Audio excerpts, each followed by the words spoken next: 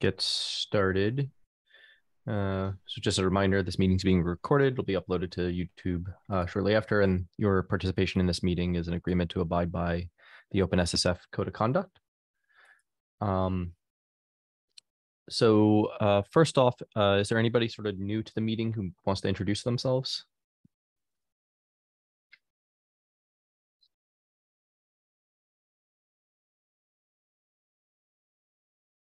All right.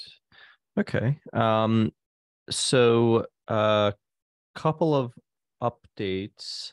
Uh, before getting into that, does anybody else have any sort of uh, interesting updates they wanted to bring up?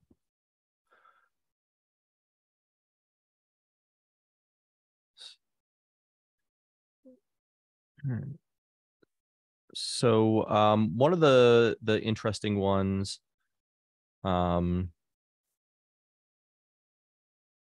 was this. So there is, and I'll post it. It's it's been posted in in Slack as well. Um,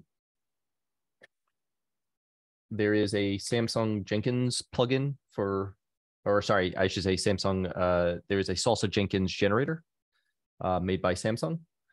Um, I believe the folks who are are making this based on um, what they had sort of mentioned to me is that they, they are working out of Korea. So it is uh, a bit of a like um, it's a bit of a, a, a time shift there to for for them to kind of uh, let's say attend these meetings, but it might be worthwhile to have them demo at some sort of more convenient time for them. Um, but uh, basically, I, you know, I, I took a quick look, and I know that there's a few other folks who are working also on Jenkins plugins and and Jenkins generators. So, want to get folks' thoughts on this. Yeah, it's it's 11 p.m. Korea now. Yeah, so that's that's why I'm I'm like, hey, if if we we talk to them about you know doing something, it might be worthwhile to have something that's a bit more convenient for them.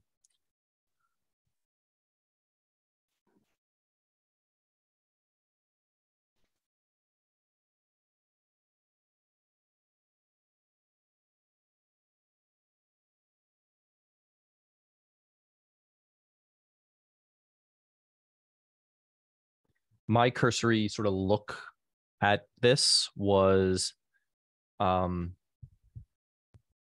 hold on sorry uh, my cursory sort of look at this was it's it's fairly simple. It's fairly just sort of like looking at what happened in the Jenkins build and just sort of um, putting into SLSA. So I believe it's really only SLSA one at this point, and with maybe a little few other changes, it could be SLSA two um, but still sort of uh, i think one of the things that we kind of wanted to figure out is is hey when we kind of um, pull this these sorts of additional things we can like the tooling team can sort of provide as sort of guidance on like you know implementation of a SLSA generator like what that sort of thing should look like um and so on so that that folks understand you know like what the intent is of you know the ideal here is is you know the builder should not be doing it. It should be the orchestrator of that build should be doing a lot of the stuff yeah yada. Um aaron?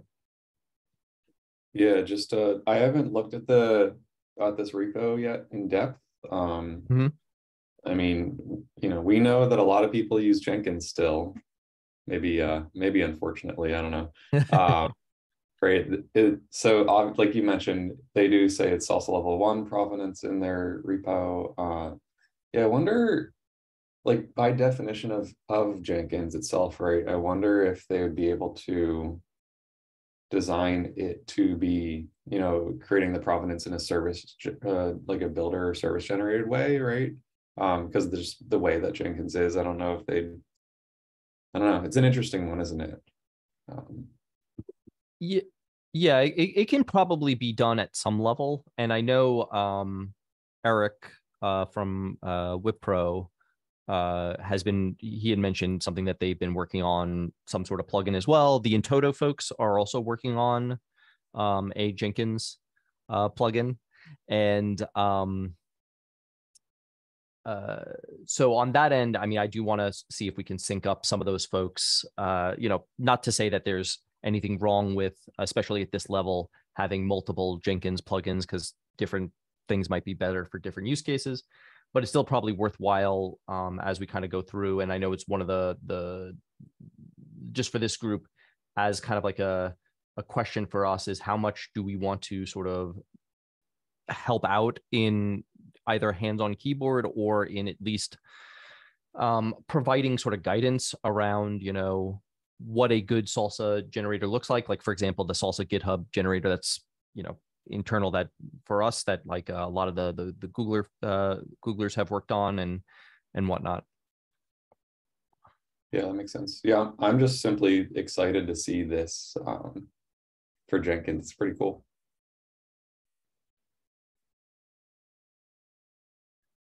yeah it's interesting how much detail they pack in their environment section in the attestations.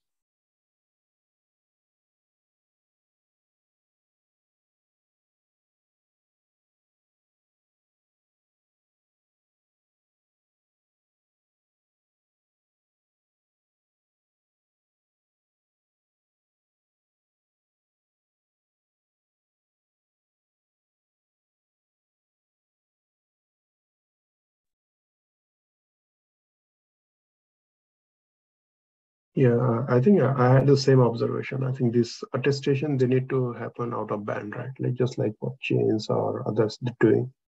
It cannot be part of the uh, your build recipe in the pipeline because we are seeing developers we do not trust or the pipeline execution.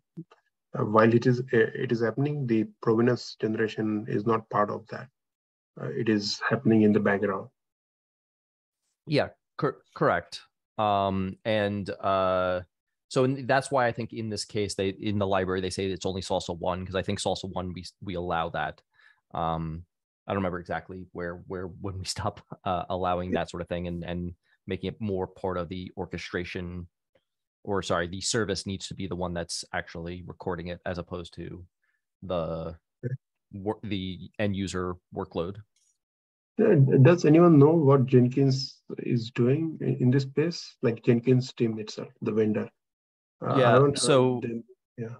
Yeah, there's a couple things. Um, so that well, first off, there's a few folks who are working on plugins just across the space. Uh, as far as CloudBees itself, um, they seem to be a bit more, from my understanding at least.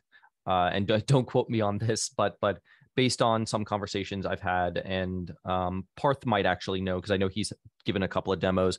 Is I believe they're kind of focused more on the Jenkins X side than the Jenkins Core side, which Jenkins Core being sort of the traditional Jenkins um, uh, legacy Jenkins. Parth? So last time, last time I spoke, or in the meeting for the CD Foundation, they they gave a presentation. So they were hoping they were planning on getting to SLSA level two by the end of the year um, integrating with the Tekton chains. Um, and then past that point, I think they didn't have anything else. I think they were saying that they would start integrating. Uh, you know, they were they have their own Tekton catalog, right? Because Jen- Jenkins X um, underneath still uses Tekton, so they were updating their Tekton catalog um, and, and basically making it more making it more um, easy for the you know for users to start using their pipelines, having those you know scans and everything else built into it. Uh, but at the same time, yeah, their their plans was just, just to get the SLSA two by the end of the year.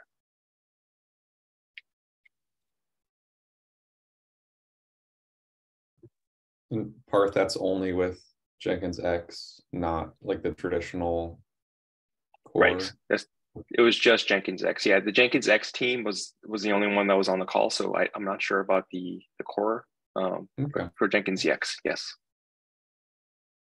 Yeah, yeah with that with that said the there's i know um eric who's who's uh been on a lot of the um SLSA calls uh he, i know he had mentioned that wipro is working on a few things on this front as well.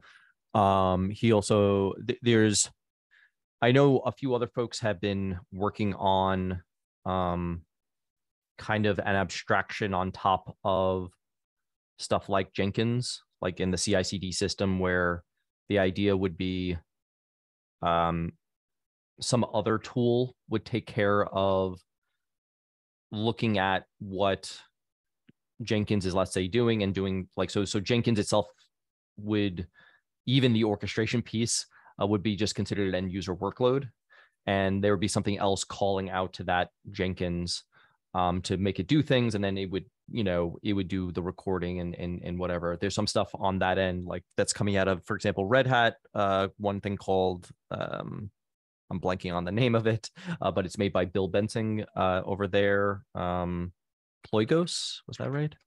Lagos, yeah, that is uh, maybe a kind of a one pipeline, like opinionated implementation of pipelines, right?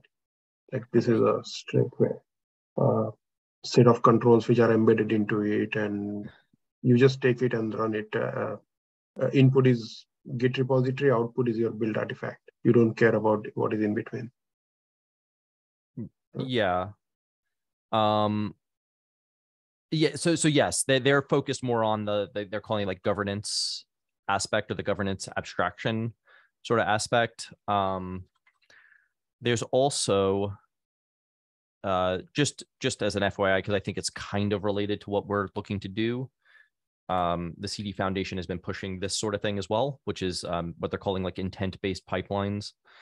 Um, the other things that are kind of coming out of the CD Foundation, which are just things we should probably be cognizant of, is they're they're pushing um, for what they're calling also uh, cloud. Uh, sorry, CD events, which is a, a sort of a very a, a bit of more of a specific version of cloud events.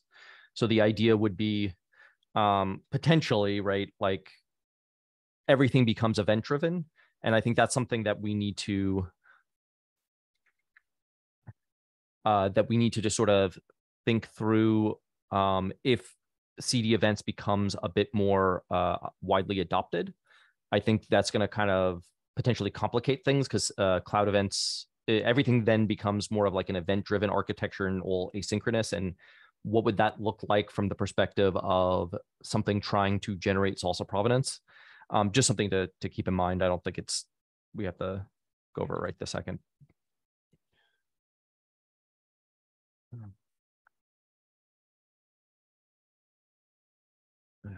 Okay. Um, so what else? Um, from the last couple of meetings, the what we've been focused on for folks who who uh, haven't been able to attend as much, the main things that we've been focused on are twofold. One is around integrations for attestation, distribution, and discovery. Um, and so this is, uh, where is this thing? Let me just, it's in the notes already, but I will post it again here. And I posted the notes again and, oh, hold on.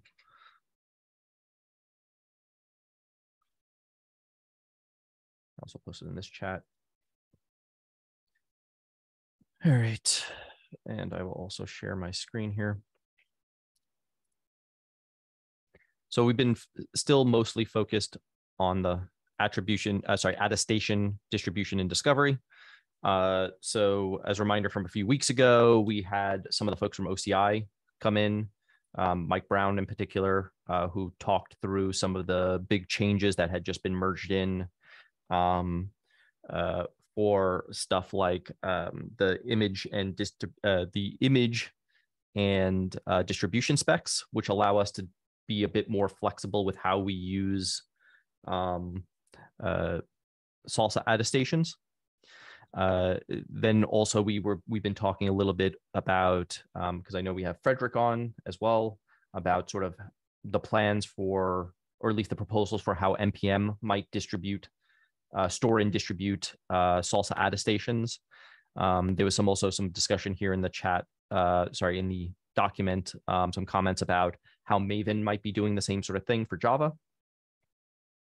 Uh, then also, um, you know, we briefly have been kind of talking about what uh, attestation discovery might look like, uh, you know, from the perspective of, hey, what happens if somebody wants to run a query against just the environment at large, what might that look like?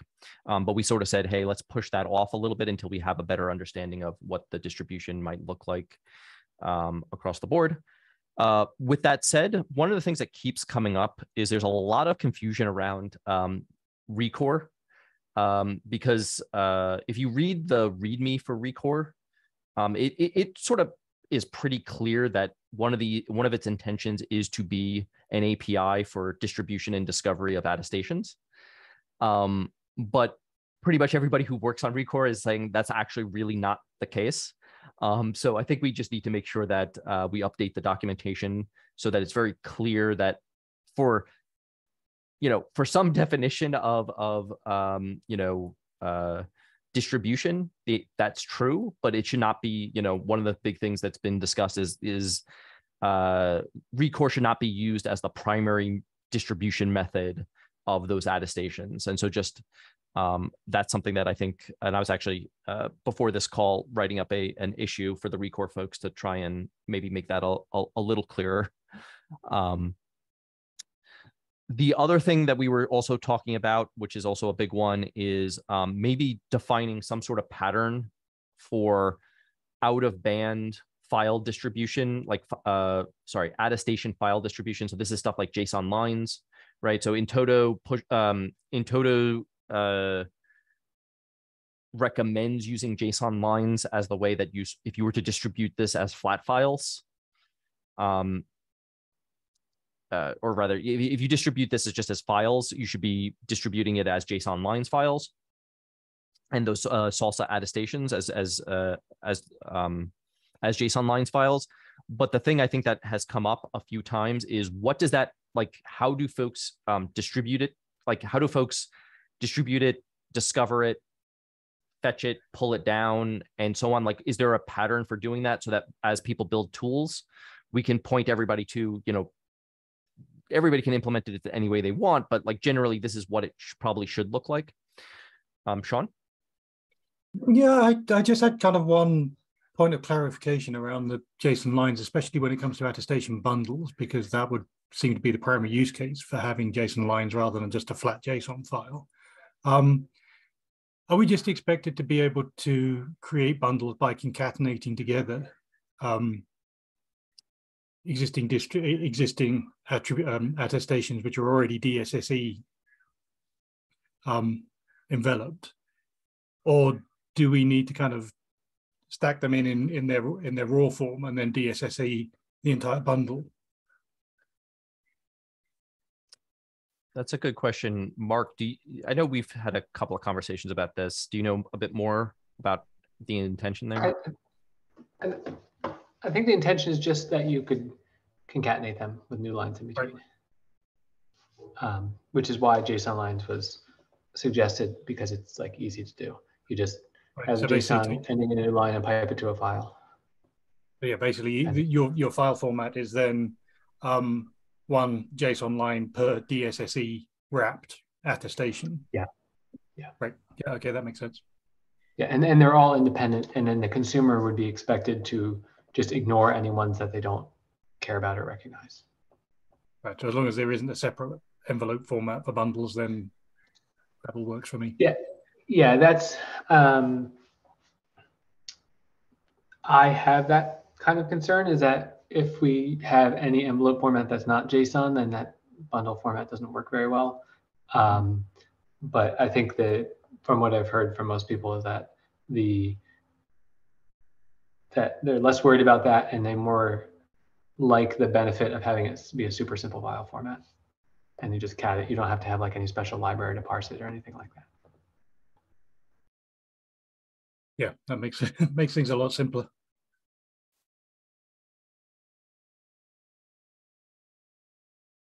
Yeah. Um, so if do folks um actually so as we kind of go through this, um let me kind of go through do does anybody have any update on some of the OCI stuff? Uh, I don't want to put anybody on the spot here, but like I know it, the, the stuff has been merged, but I don't know what the timeline is for actually releasing it. I, I know you're picking on me when you say you don't want to say. Yeah, yeah, I wasn't gonna. Yeah, um, we've got a release candidate currently preparing to get tagged over there, and so that is in the works, getting voted on. Um, they've got the PRs ready to go, so that's just waiting on a few people to vote, and then we'll at least have something out there to look at there are a few more uh, pieces to clean up as we go, but it's at least a state people can try it out.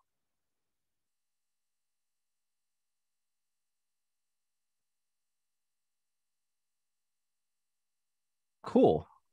Um, now to, I guess, pick on uh, Frederick or somebody uh, from who's been doing some of the stuff on the Node JavaScript NPM side. Um, uh, do you know what the status is of that um, RFC, and has there been any decisions on um, how this stuff will get? I I know there was a couple of different options that you were considering. Yeah, so uh, the RFC is still open. I think we are waiting for one more um, npm CLI meeting. I think there's like happening every week. So if I'm not mis mistaken, I think we should expect to sort of merge the PR with RFC next week or the week after that. Uh, for distribution, uh, it's still sort of as we were discussing before. So the primary way uh, the npm client will or the npm CLI will get the attestations is by uh, retrieving them from the package package registry. Mm -hmm. Cool. Um, Mark, you have your hand up. Yeah, I have actually a question going back to the OCI um, thing. Um, one, uh, just to, just make sure I understand the proposal correctly, the idea is that you would store an attestation, um, like you'd store the attestation itself as a blob. You'd store a manifest, I guess, that like contains the blob as a layer, or I'm not sure I'm using the right terminology, and refers to the subject.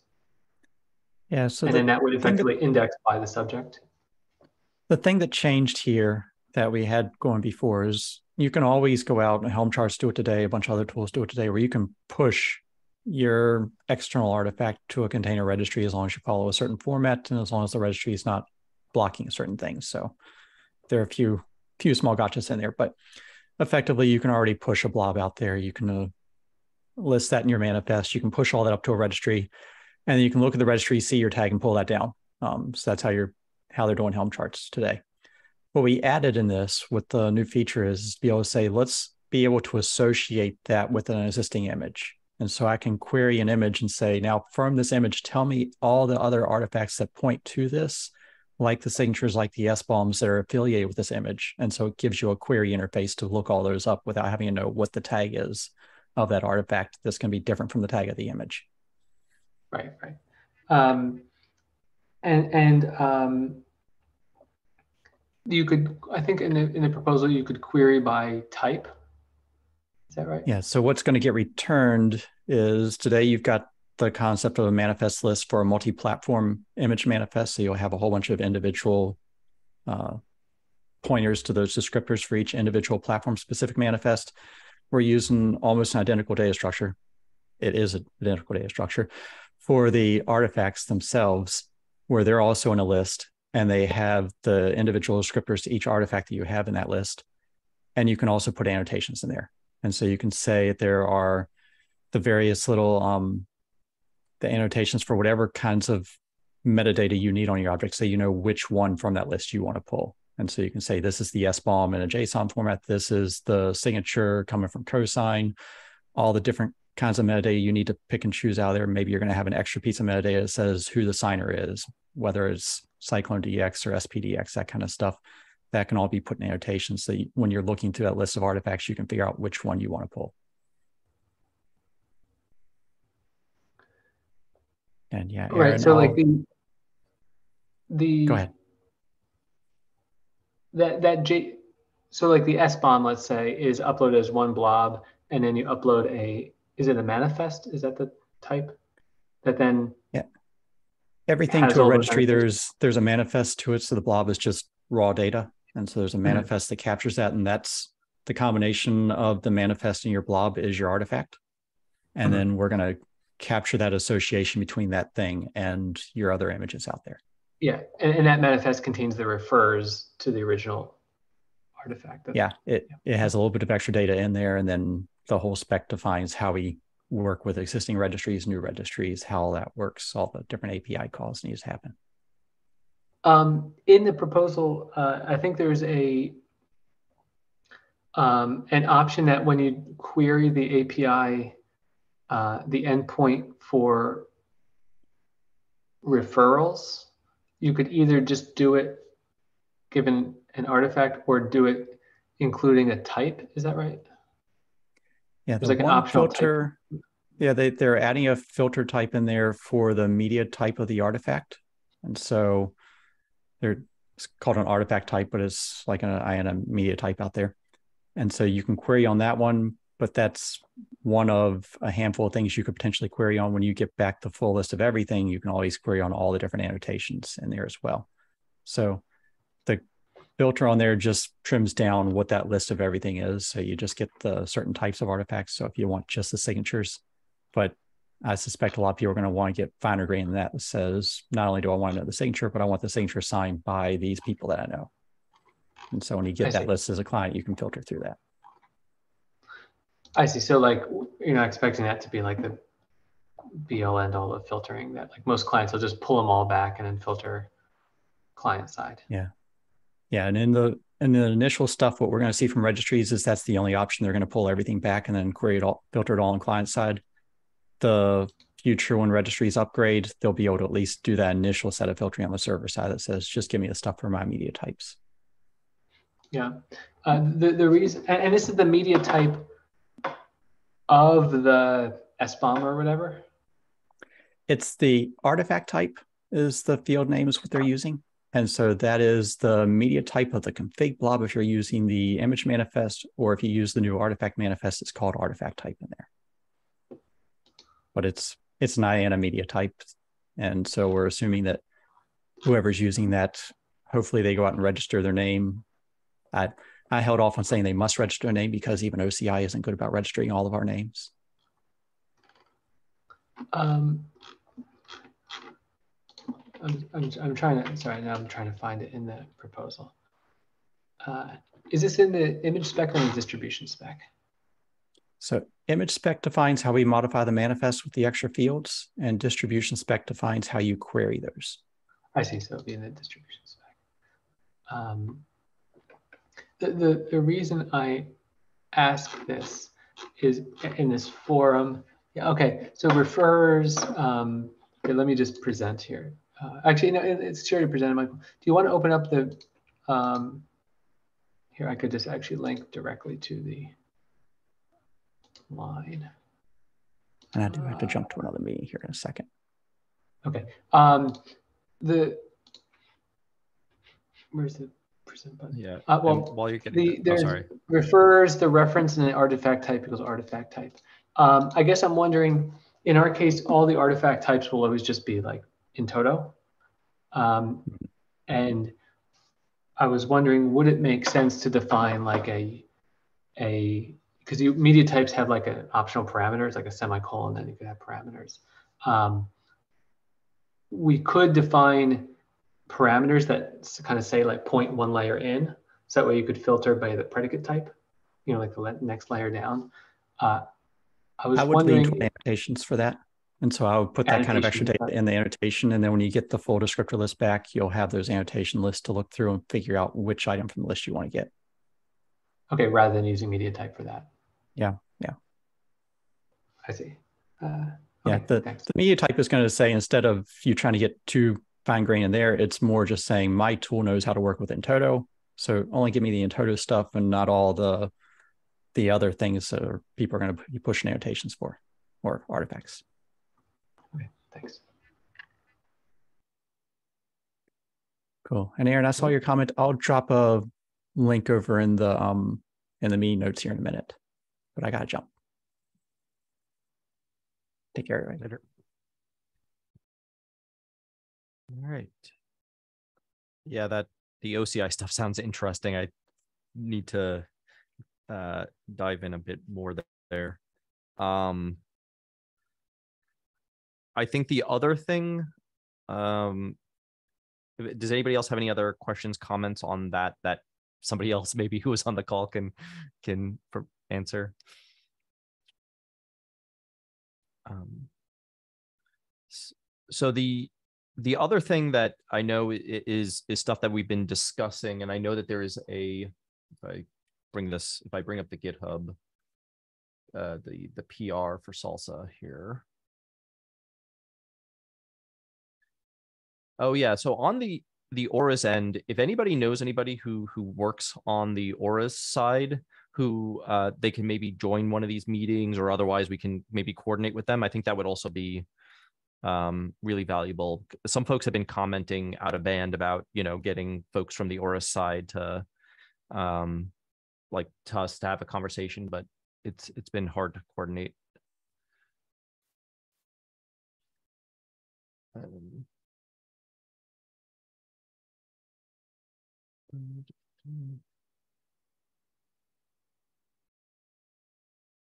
There's also um okay so give me one second to also share this.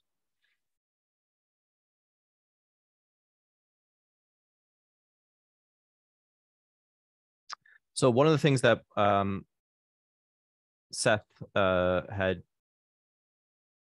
oh did I not? Uh, I guess I thought I added a comment here. Um, so uh, there's some discussion about you know um, writing up a few things to to make it clearer what we're trying to do from. Oh, sorry, what reasonable patterns look like for distributing um, JSON lines files, storing them, etc. Like what sorts of things could people do? Um, when implementing tools, right? So one of the things that was brought up, I think, in a previous meeting, I don't remember who had brought it up, was, hey, it's great that um, you know npm, OCI, uh, all these other Python, uh, all these other, sorry, Python packages, et cetera, like all these packages are starting to look at um, integrating uh, SLSA, uh, SLSA provenance. But what happens when um, either the release happens out of band, like, hey, this is just a tarball and um, we store it on GitHub. Like, what should the general flow look like so that um, as people build out additional tools, one is they don't have to reinvent the wheel, and maybe that there is a couple of common patterns for this sort of out of band distribution mechanism, right? Where it's like, hey, it's not you know it's it's something like a tarball it's not or it's something like hey this i am distributing some sort of package but the package itself there's no um, there's no standard around including stuff like attestations in the package in some way. Uh, so one of the things that was kind of discussed was you know uh, taking these in-toto um, json lines bundles and sort of describing at least some sort of pattern for how it is normally stored? Like, is it just purely something like you have the package, you have a JSON lines file, and you have some way of naming that JSON lines file so that you know that it refers to that package you're downloading? Something like that. But wanted to get folks' thoughts on that.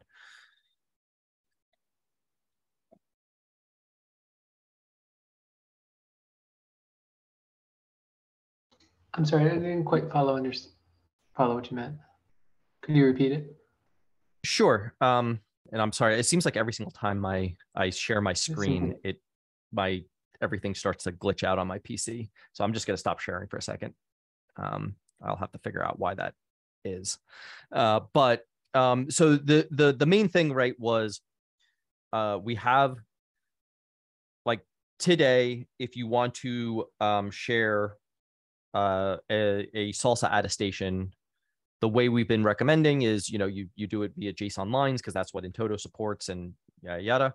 But the thing right is is you know the json lines file like should it be the same like it should it be something like you know foo.tar.gz.jsonl should it be the hash of the file?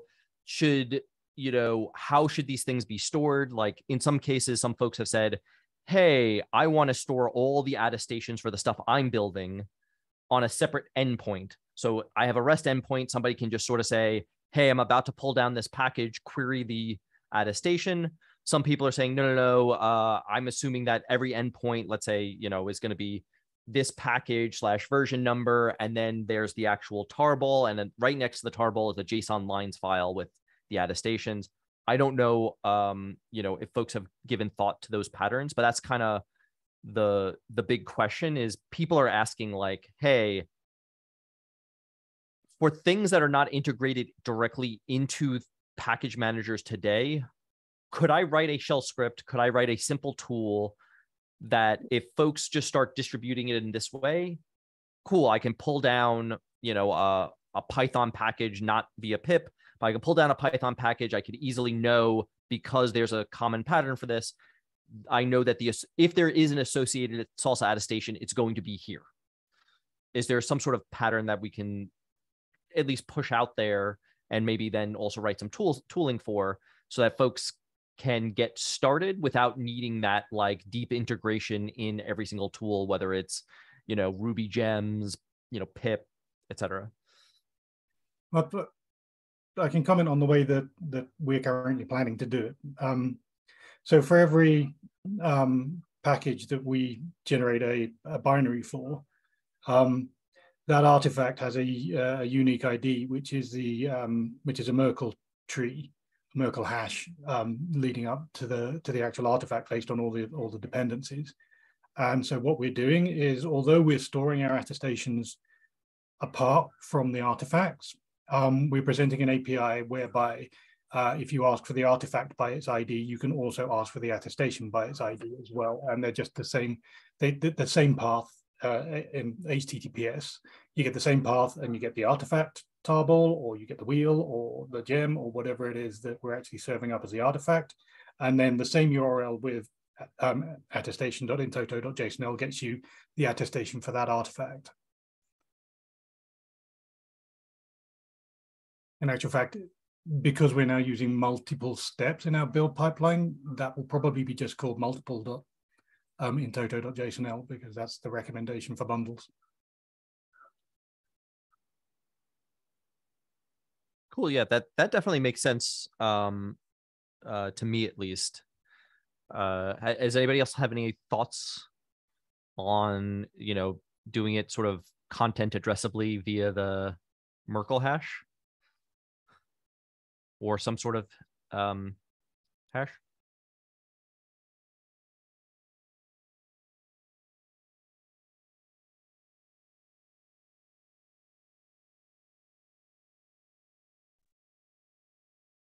Yeah, I don't, I don't have any comment on the Merkle hash, but I could definitely see, you know, value in having that unique identifier, of course, right, for that thing, not even just a 1.2, like V 1.2, but actually having like something that's like a little bit more, I guess it wouldn't be immutable, but like a little bit more specific, right?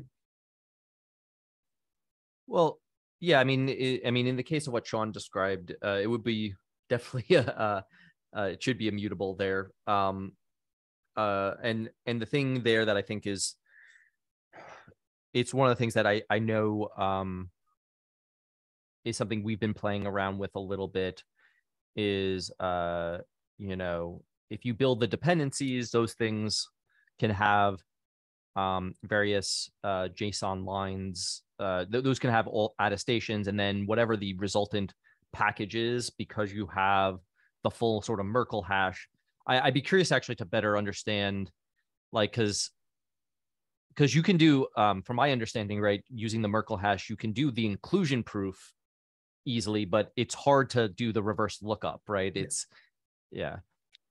Yeah, it's it's but basically what we do. So the idea is that um, we're not quite there yet, but what you should be able to do is regenerate the Merkle hash from the material section that's listed in the, the oh. JSON because basically it's all the inputs that went in there that are factored into the Merkle hash are actually there in the attestation as well. So you should be able to reverse engineer it that way, but you can't necessarily just take a Merkle hash and work out what the dependencies were. Yeah, yeah, yeah. So, but but because we list the um, the URIs to the um, to the artifacts for the dependencies, you can then walk the graph back, uh, going back to those and then asking for the in-toto at the same endpoint for those artifacts as well. So you can basically walk the walk the graph of attestations back to the root as well. Yeah.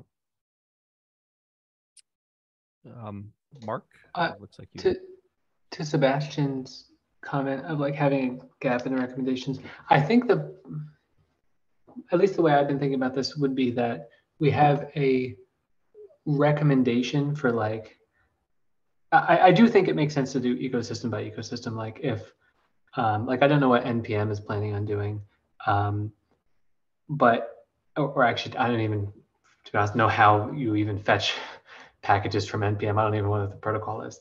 Um, but I would imagine in cases where you fetch it by some sort of file name, um, that it makes sense to have a concrete recommend. Actually, we do have a concrete recommendation, uh, which is that you append a .intoto.jsonl suffix. Um, that way, all these different ecosystems, if they are doing it by file name or it's like on the file system or something like that, then we can um, using the same suffix, I think, or convention or whatever the convention is, uh, I think makes it easier because like they all do it. If there's cases where like, oh, you use this one endpoint to, to get this thing and a different endpoint to get something else, then then that's okay. But I think in particular, this case was about file name based ones. Is that right, Michael? Yeah, and, and it was about sort of like completely uh like yeah I, I i almost feel like we we should be having a a bit of a, a hierarchy of like yeah if it can be integrated directly into the um the the what you call it the um into the package manager itself or the distribution mechanism of that package itself then absolutely it should. But like i know a lot of folks are saying hey great it's going to take you know based on just as an example like hey like uh there's there's like for example the npm stuff they have an rfc they're going to be doing that it's going to take some time to actually implement everything get it all sort of followed through with. But some folks might say great well i'm i'm distributing packages with with SLSA attestations already how should i do that right? And some people might say okay well great. Here's here's maybe a, a way we can at least get you started until the more official way is actually implemented. And then in certain cases as well some of the stuff that's actually come up is like what happens in cases where there is no distribution mechanism right? Like certain things like where uh like there are certain types of things where the output is essentially just a tarball and so there's and it's not really like you know it's it, there's no sort of pip install npm install for whatever that thing is. And so everybody just sort of downloads that tarball and unpacks it. Like is there a way to um, still you know distribute uh, SLSA attestations such that like there's at least a common pattern that if folks know oh yeah here's here's something that's out of band you know it's not like inside of a package manager or whatever i can just pull it down uh, pull down and and and i know i could go and look at like as like sean described like if if uh if the the artifact is listed by a hash or something like that, then I can pull hash dot, you know, whatever uh, dot JSON lines. The other thing I think that's kind of been, you know, and I think that thing is is is important from I think the also the um using the JSON lines as the bundle because and if like multiple attestations potentially there, right? Because otherwise, how can you easily have everything refer to that package um, without some sort of mechanism of saying, you know, there needs to be, I, I think, a uh, some mapping between the attestations to the artifacts, especially if there's multiple artifacts in the same sort of directory or whatever. Uh, th- that's really, I think, kind of where we're trying to kind of figure out. Because I think somebody from the, I believe it was from the SBOM side, had had brought up that you know lots of folks are distributing packages in ways that are not like using a package manager and so they're just files. And so a lot of folks are just asking for you know hey when you just you know when you distribute me this tarball i also expect an attestation and i expect an easy way to know that that attestation is supposed to be pointing at that file. That's it. Yeah i think the worst, worst offenders here are the um, packages that install themselves with a sure pipe or curl pipe sure. Yeah, yeah, it, it, it, exactly, and and that's like the thing of you know um, something we've been playing around with a little bit is, hey, um, you are even significantly better if you had a let's say a very basic tool that does the curl pipe, you know, shell, but when it curls, it also verifies that it has a SLSA attestation that you know from a signature you trust before piping into sh right? Like um, even having a tool that just does that you're you know it's much better than, a lot of what the other things we're seeing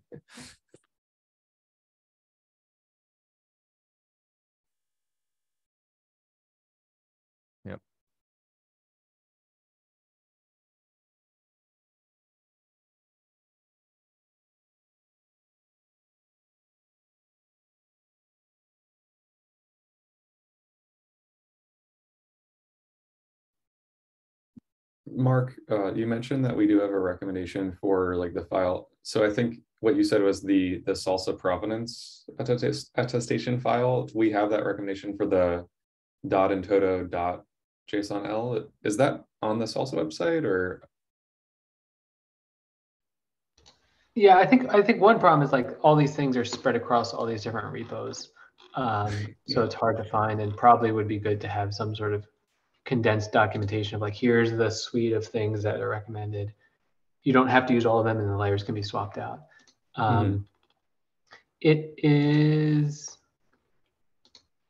Uh, I'm pure. I'm purely curious. I'm not trying to. Yeah. To call you out. No, no, no. Yeah, I'm. I'm. I'm sending it right here because I think it's very easy to miss. Um, I'm trying to update the list. Convention for naming bundle files. Uh, I'll add it to the meeting notes as well. Great. Um, actually, I should I should link to specifically to the file naming convention. Uh, yeah, uh, but it's like super easy to miss. I see it now. This is good. Thank you. Yep. Um, I have a question about the naming convention there as well. Um, so we're um, producing pipelines that actually produce our artifacts. So there are multiple steps between source repo and binary artifact. And so what we're doing is we're generating artifacts, intermediate artifacts along the way that we feed in through the pipeline. Um, so there, you know, we've got one piece of source code, multiple steps, and, and a final output. Should we be naming our attestations there? They're going to be bundles, um, because they will have an attestation for each of the intermediate artifacts as well. Um, should we be naming that for the final artifact, or should we, because we've got multiple artifacts in that chain, be calling it multiple.intoto.jsonl? That, that's a good question. I think we should clarify that in the docs. Um, if you read the docs directly, I think it should be called multiple because there's different subjects. Um, but if if I understand correctly, I think in practice, people don't care about the intermediate artifacts and they really just care about the end artifact.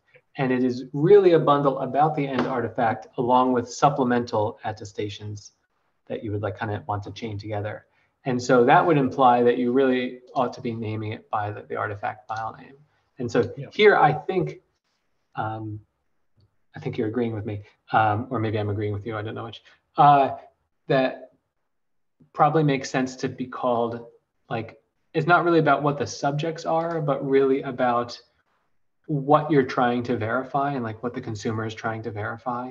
And so like if there's a natural name that people are trying to verify, then you just append the suffix to have all of the necessary attestations to verify that thing.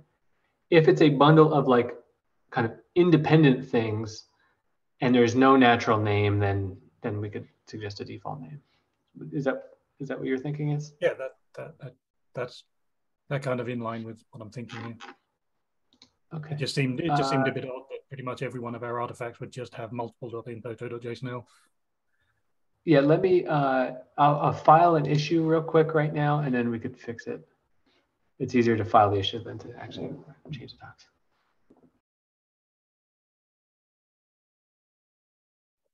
If I can just mention, as we've talked a bunch of this, like we are, I think, straying away a little bit in the NPM use case from what has been discussed so far. So as an example, uh, we will primarily be fetching the attestation via package name and version. and also when the registry return attestations, we will not return uh, the raw DSSE envelope as a JSON line format. We will return them in the new Sigstore bundle format that's being proposed as we speak right now. So it's not really done yet, but we're working on getting that uh, bundle format standardized. And, and, the reason for that is that we are signing everything with Fulcio and publishing uh, attestation on Rekor. We would like to have a consistent way of delivering not just the attestation, but also the, the key material to the client so they can verify that as well. So that's why we are taking a little bit of a different approach.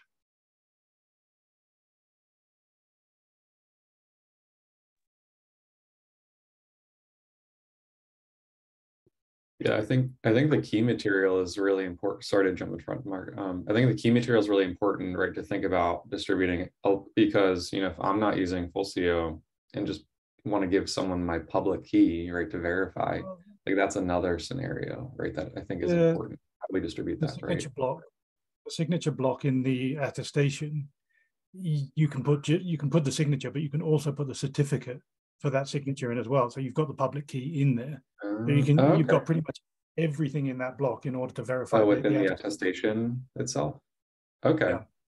Well, that's excellent then. Never mind. uh, yeah, I just, read, I... just read a whole bunch of Python to go to do certificate chain yeah. validation. But is uh, not that it's actually bothering me, but I, is because I, I do think there was an issue on the DSSE envelope to actually have certificate as an attribute in the signature field. I'm not sure if that's sort of accepted and standardized yet, but I'm, i do know a lot of folks are putting the certificate in the DSSE envelope. Okay. But uh, there is another thing for us that we are very picky about as well, and that's having assigned the timestamp. And for us, we're getting that from Rekor. So having that entire, let's say, Rekor blob uh, be stuck into the this envelope as well feels like maybe doing a little bit too much violence on, on the specification. So, so for that, we are uh, sort of sending the, the Rekor response or the Rekor entry parallel to that station so they can also verify that the signature actually happened, sorry, the signing ha happened during the validity of the certificate.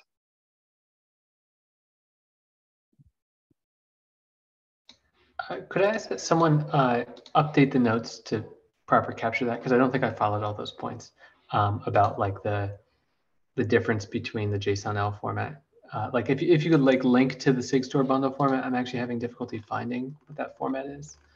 Um, and uh, like what's missing, I think that'd be helpful to record in the notes. Sure.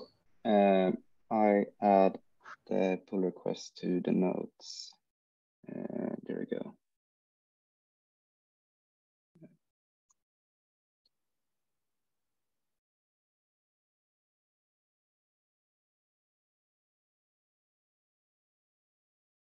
So do you want me to sort of give a quick overview again? You're muted. Sorry. Uh, thanks. Um, you said something about including the timestamp or the and the certificate or something like that. Yes. That... Um, so yeah, to sort of go back a little bit, we are using Fulcio to sign the attestations. And because of that, we are getting a ephemeral certificate, or we're actually creating it ourselves and then sending it for Fulcio to be signed by Fulcio. Uh, and that certificate is like short-lived, 15 minutes, I think the default expiration is. So to make sure that the client can verify that we actually used this certificate during the time it was valid, we are also sending um, attestation to Rekor. And as part of that, Rekor is sort of timestamping that, signing the entire thing with Rekor's public key and returning back a response, which can be used for offline verification. So that response is something we would also like to send to the NPM CLI. So NPM can CLI can actually verify not just the signature, but also that it happened during the time the certificate was valid. That's interesting. Um, it's it's almost like if you wanted to do it independently, you'd need something like um, the way Authenticode does it, and embedding the timestamp in the signature. That is not super trustful, I think, because you don't have a third-party observer of the timestamp. Um, well, with, with Authenticode, you do because you have to go and get a signed timestamp from a, uh, an external time server. Yeah, you can't. And, you can't and, and that's what we're using Rekor for. Right. Uh, the Sigstore bundle proposal also allows for regular RFC 3161 timestamps as well. So it doesn't have to be right. Rekor. Rekor is just one of the options. Right.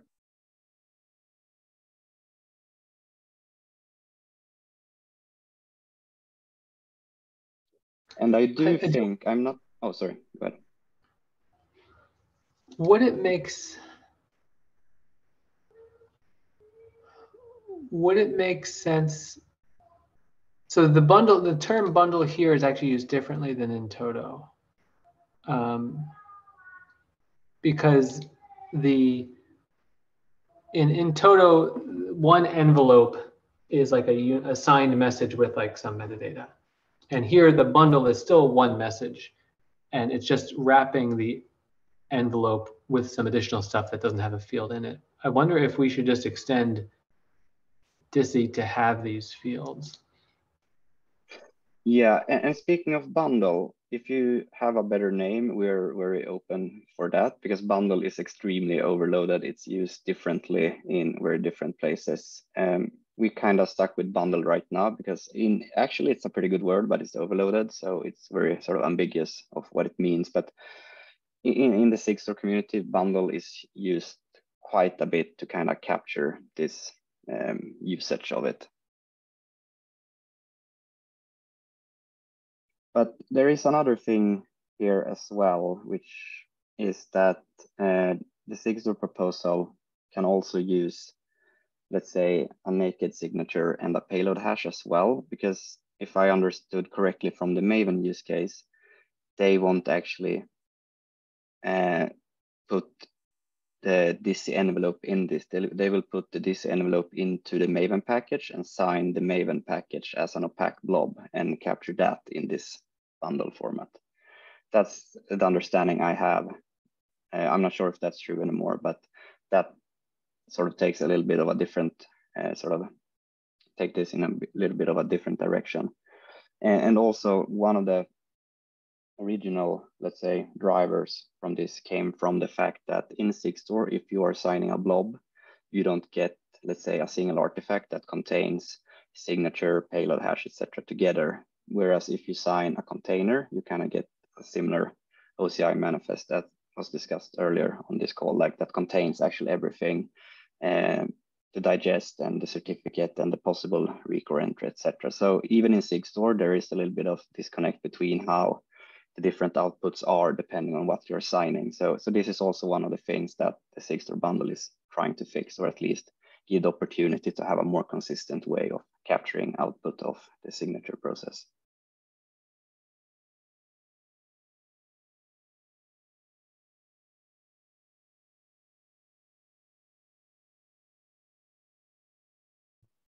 Nice. That was interesting. Thank you for sharing.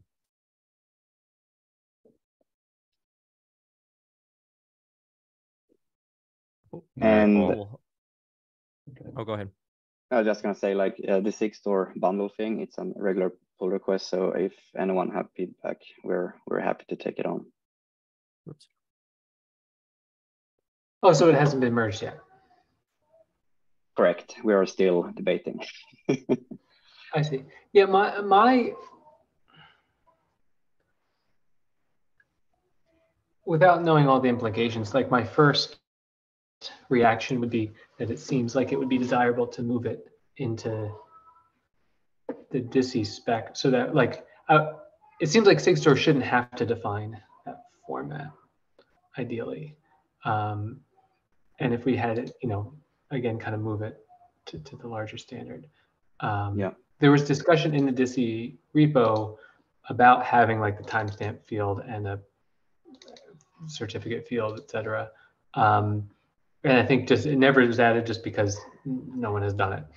Um, I I don't know if enough of the implications if if it would solve, re basically remove the need. It sounds like you still want to have some wrapper to allow different types of envelopes. Yeah, or let's say a naked signature over a blob where we don't really know yeah. what we're signing. But yeah, at, at, least for me personally, I don't think it's let's say important if it's let's say defined or if if if the specification lives in Sigstore versus this because even in Sigstore we have a lot of support. We in Sigstore have a lot of support for for this envelope, and so, so I don't think it's crucial in that sense. I think it's more crucial that we get some alignment between the different ecosystems here.